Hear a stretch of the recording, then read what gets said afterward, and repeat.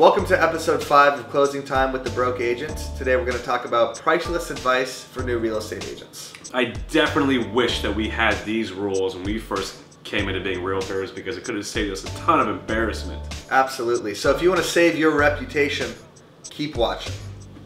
Number one, the real estate community is an absolute gossip pool. It's like a private high school on steroids. If you don't want Gretchen Wieners from Mean Girls writing about you in her burn book, keep it solid.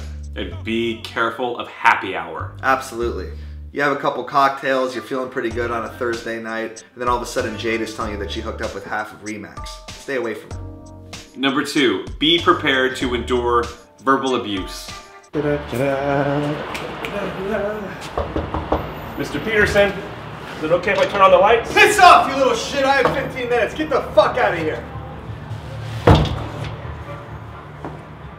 Number three, the real estate exam means absolutely nothing. Nothing. All those terms you learned, toss them.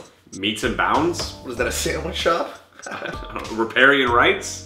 Schnisnarian Snipes? I, thought, I thought a trust deed was going to be like the number one thing that I was dealing with in real estate. Haven't heard about it once. Until Yeah. I just said it right now is the last time I heard about a trust deed. Yeah. Number four, act like you're doing more than you are in the office. Number five, make sure that your client does not know more than you do about real estate. So this actually just happened to us on a listing appointment a couple hours ago.